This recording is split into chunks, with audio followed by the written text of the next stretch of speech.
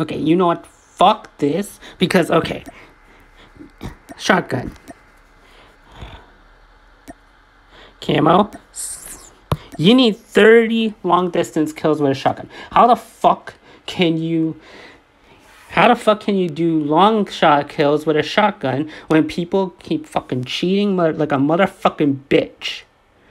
And when when it's impossible to do long shots.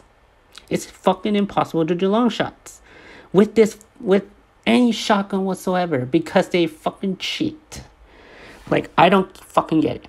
Here's this. Here's an idea. Remove the long shot challenge because long shot challenge are fucking bullshit with shotguns, and sh- of course, remove shotguns from the Damascus from the road to the, like from the requirements to get to Damascus, and to get gold because basically shotguns and long shots don't mix because they're a people are fucking cheating in game like a fucking piece of shit and two, they are, and two, it's fucking impossible to do long shots with shotguns.